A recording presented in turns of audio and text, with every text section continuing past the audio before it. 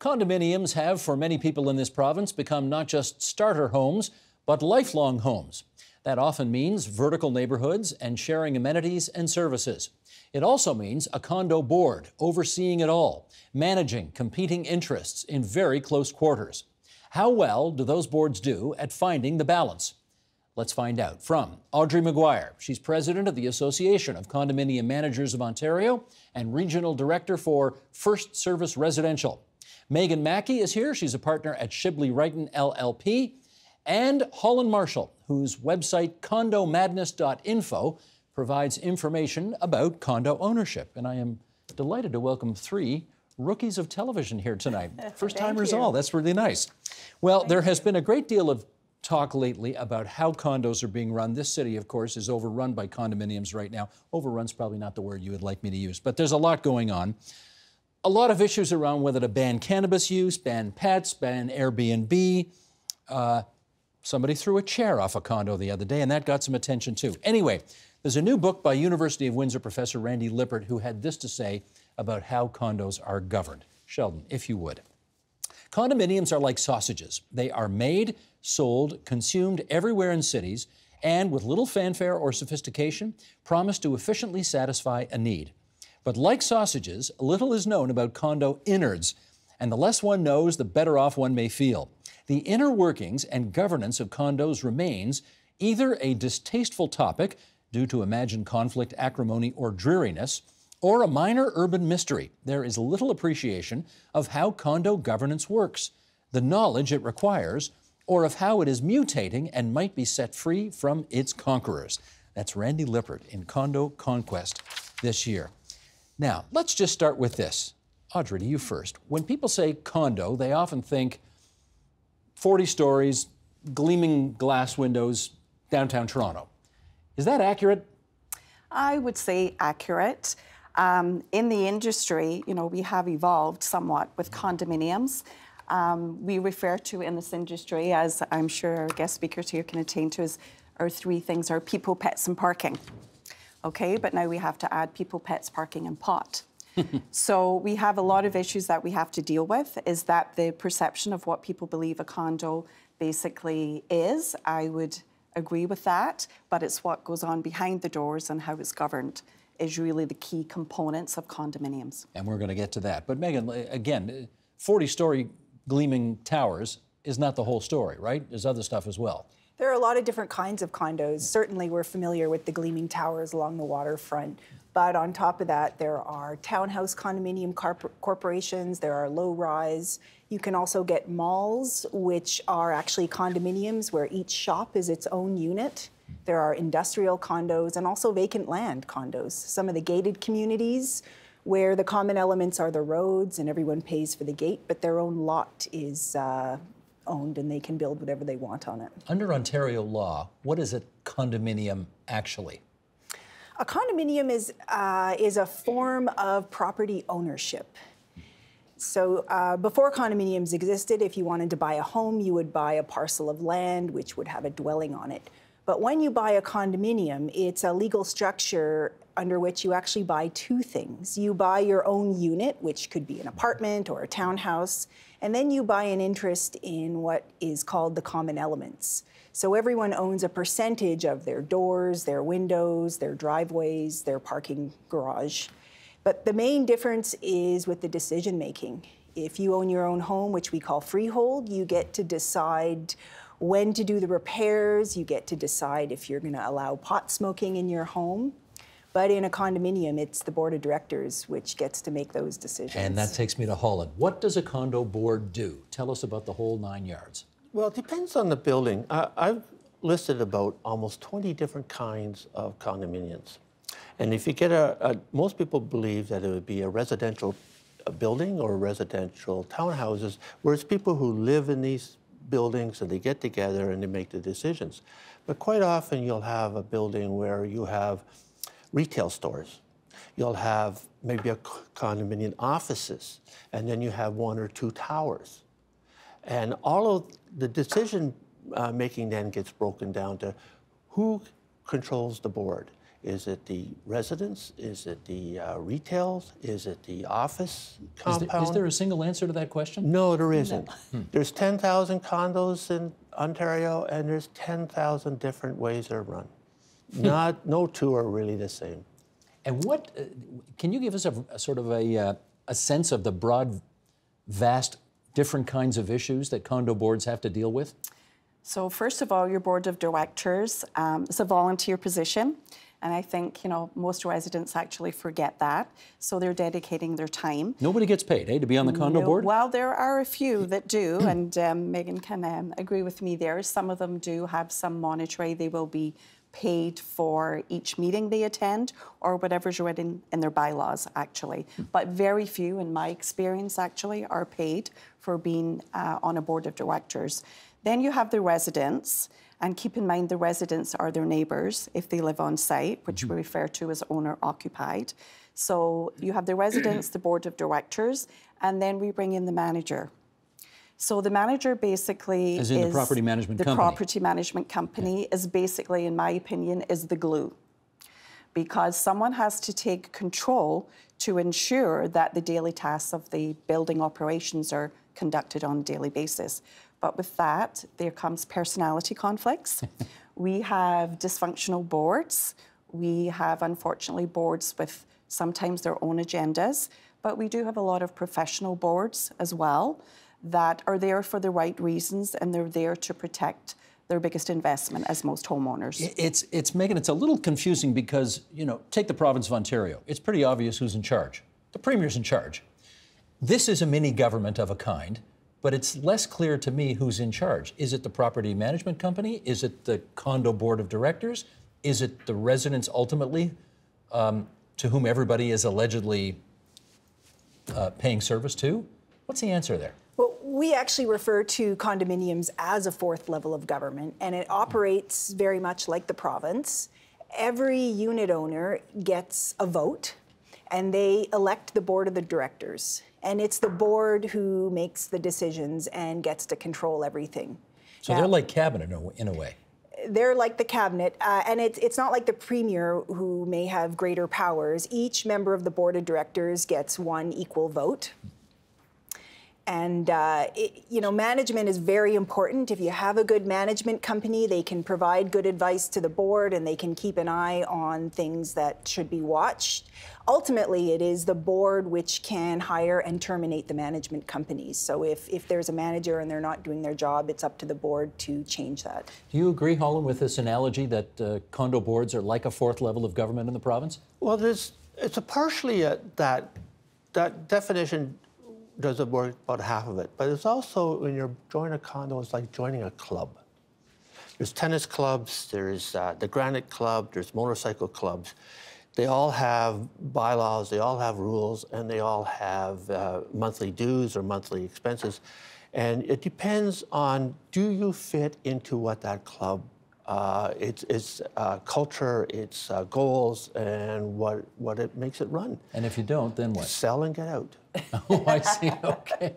And just confirming, do you belong to a motorcycle club? Uh, no. That's an interesting example that you picked there. Okay. But you know, a club is a club is a club, but a condo is a condo is a condo. I and- get you, but there's a little different. Okay, uh, Audrey, help me with this then. If if if people don't like the job the premier's doing, they can vote against the premier and try and get rid of the premier. That's correct. Can you do the same thing in a condo? Absolutely. What you can do is you can, the homeowners can requisition a meeting um, to remove board members. However, 50% plus one, there's lots of politics involved there. Um, and sometimes it can be very difficult. And sometimes the same board can be reappointed in very strange circumstances, depending on proxies and so forth. So it's, um, it's an official guideline that you have to go through, hold a meeting officially, voting, you know, democratic vote and so forth. But it can be very difficult. And that's when you can run into a lot of problems. Going back to previously, board of directors, if they're living in their community, Holland had expressed about um, clubs and for, so forth. What a lot of people don't understand is they have actually bought into a community with rules and regulations, and people don't like rules for the most part. And I think it's an educational thing where they're not really educated enough to know what they've actually purchased. Okay, if on the other hand, Megan, if you think a if you think the board's gone rogue, how easy is it to get rid of them? Well, uh, like Audrey was saying, you can effectively impeach the board. Uh, you need uh, a certain percentage of the owners to requisition a meeting, and then you need 50% of voting units to vote in favor of the impeachment.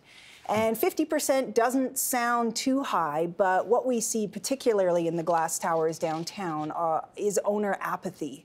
They buy these condominium units, they don't uh, pay any attention to what goes on. So, getting 50% of the owners to actually pay attention to what's going on in, in the condominium can be really challenging.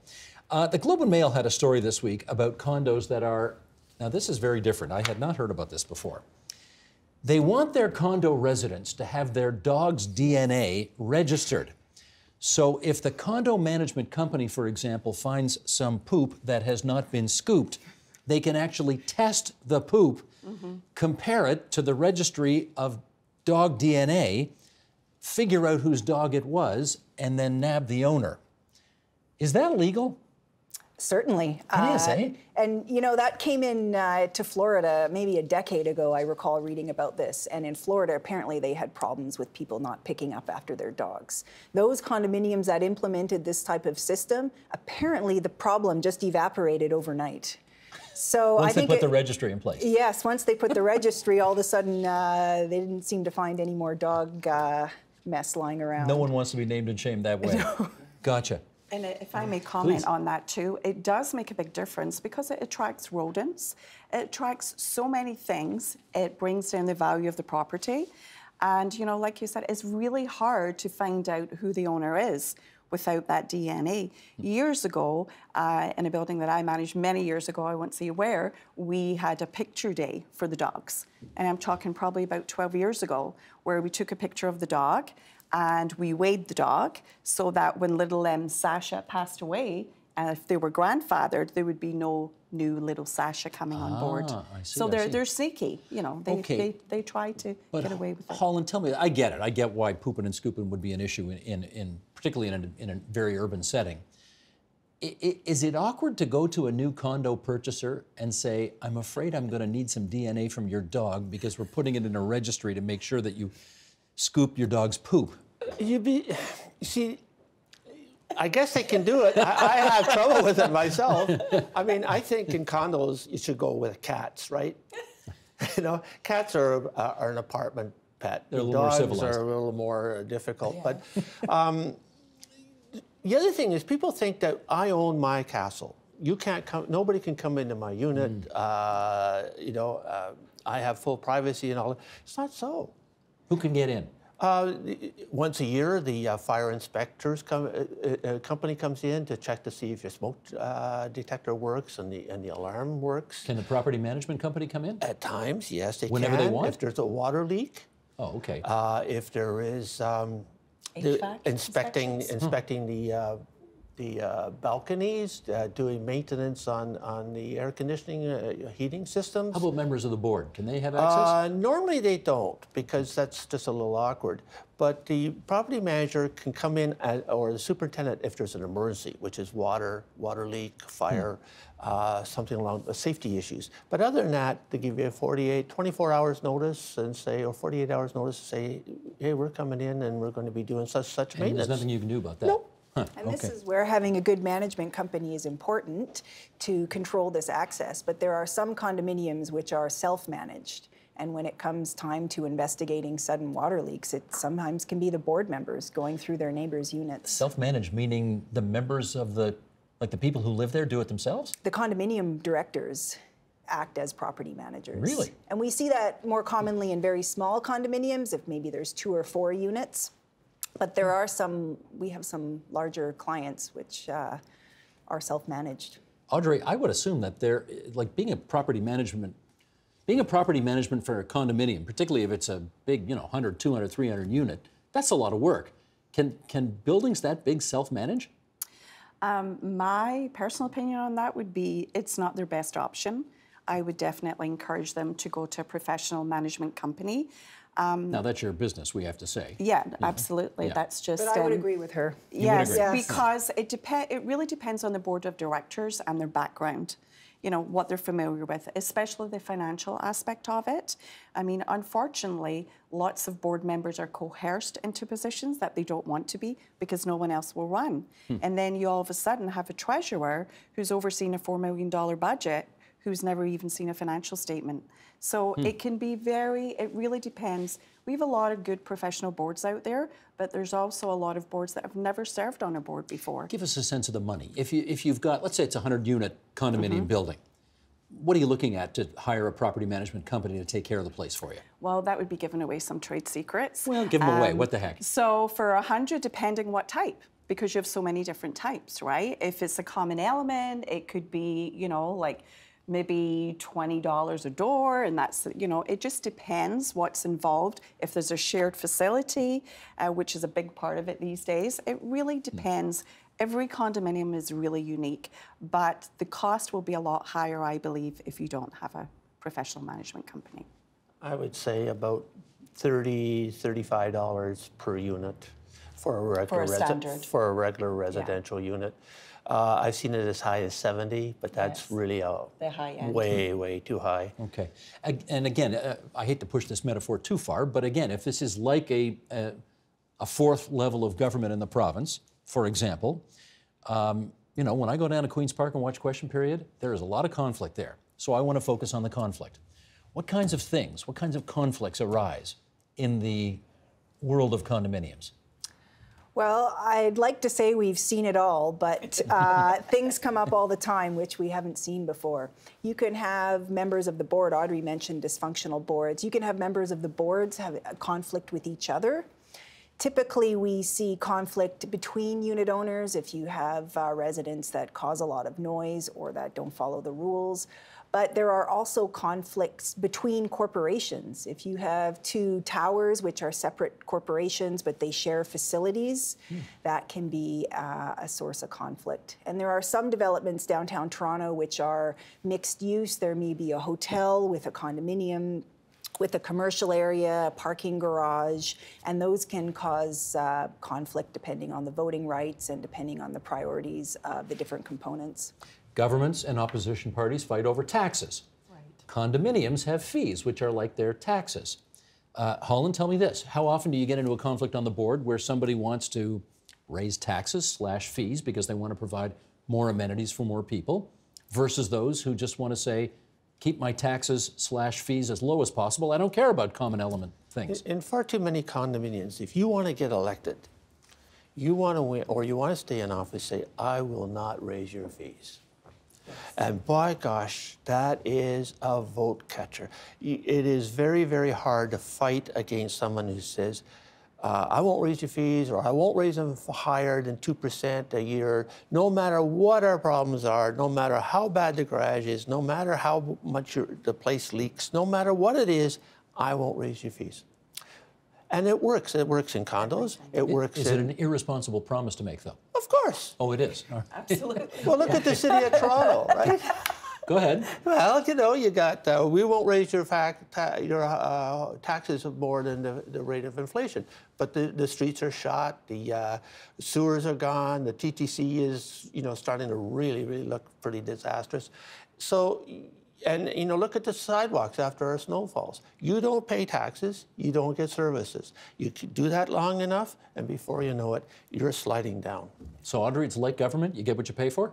Absolutely, you get what you pay for because at the end of the day, you know, everything goes up. Nothing comes down in price. And if you want good quality, even utilities, utilities are a significant percentage in a budget, sometimes 35, 40% hmm. of an entire budget if it's bulk.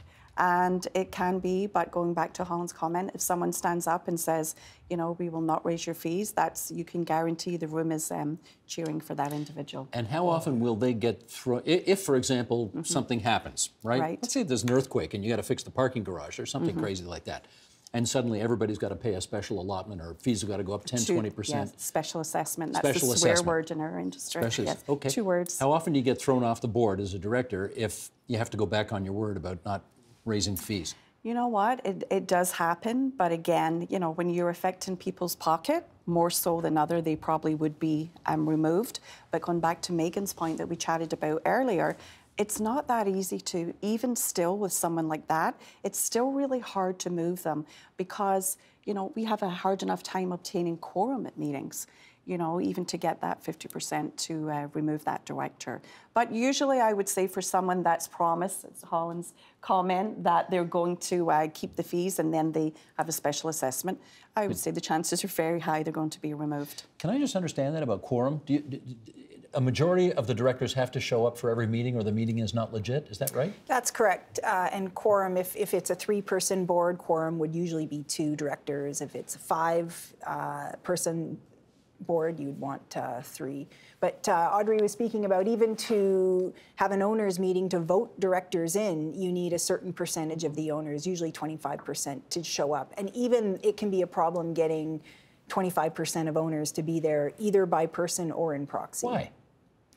Because people just don't care, Steve. They just eh? they buy their Well, unit. That's, and- just part of it. If you have a, a, a majority, like in my building, it's 90% owner occupied. We don't have a problem getting people to the meetings.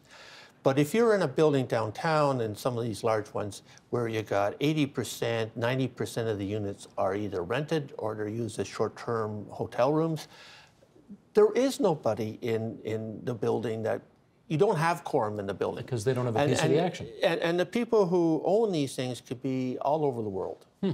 And they have a management company here looking after it for them, or a real estate agent looking after it for them. So you're not going to get in touch with them.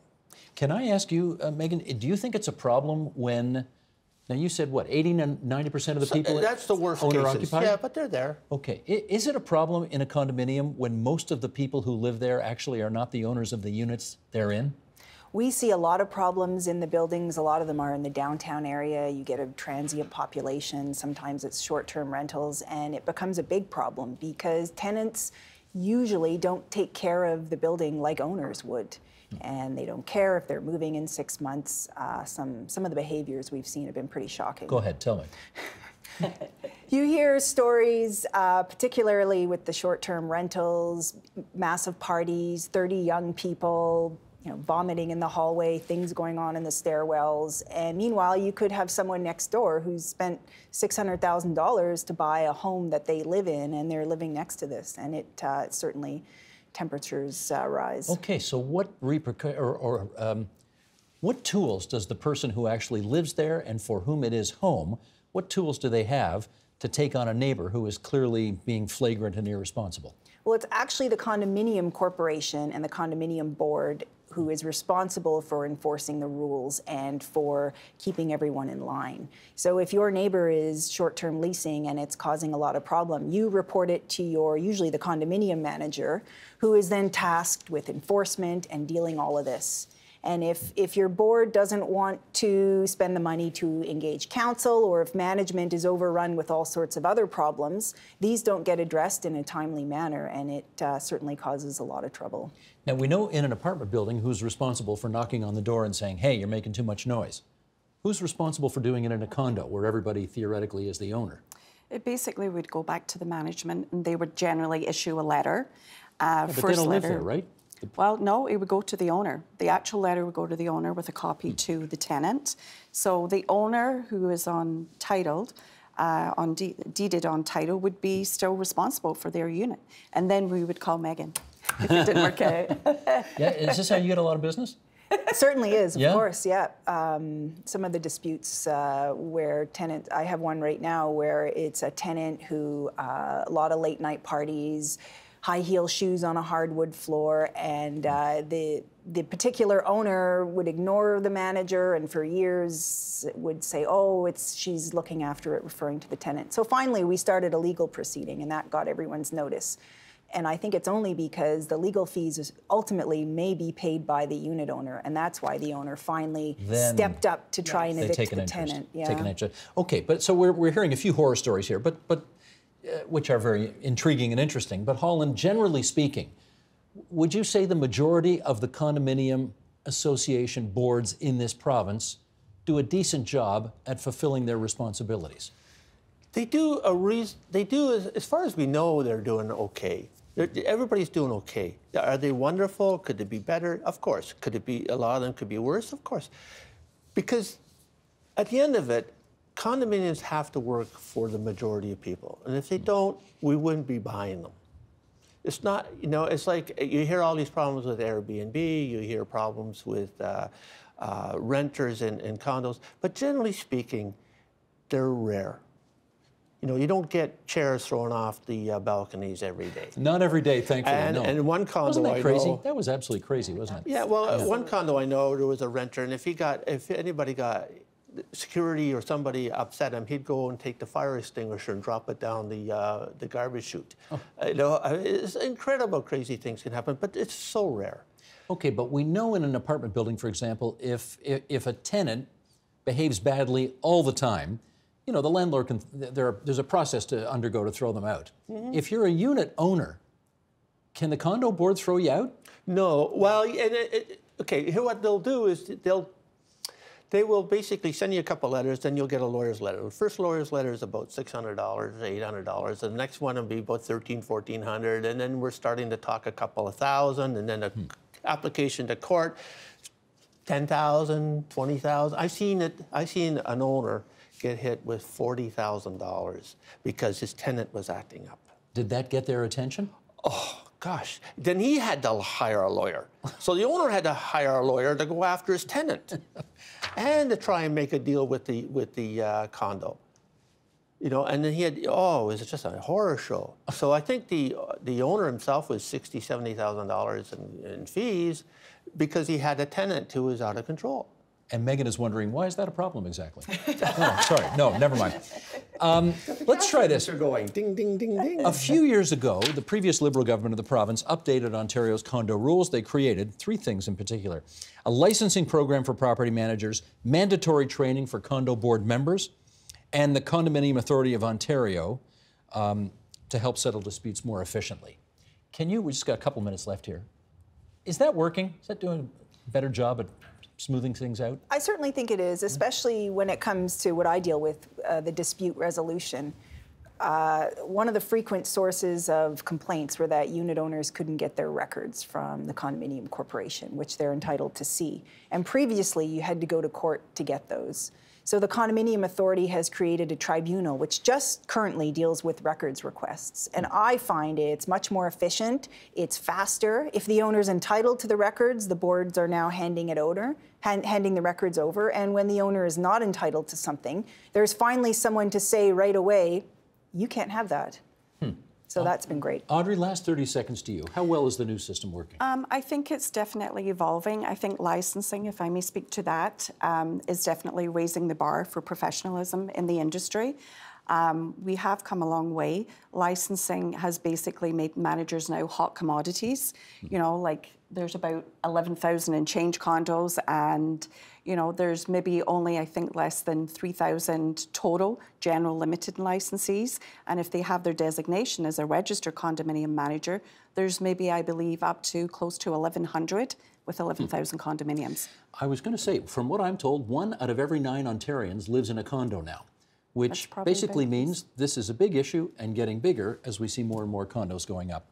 I want to thank everybody for uh, helping us out with this one here. Megan Mackey, who is with Shibley Righton LLP. Holland Marshall, you can find out more on his website, condomadness.info.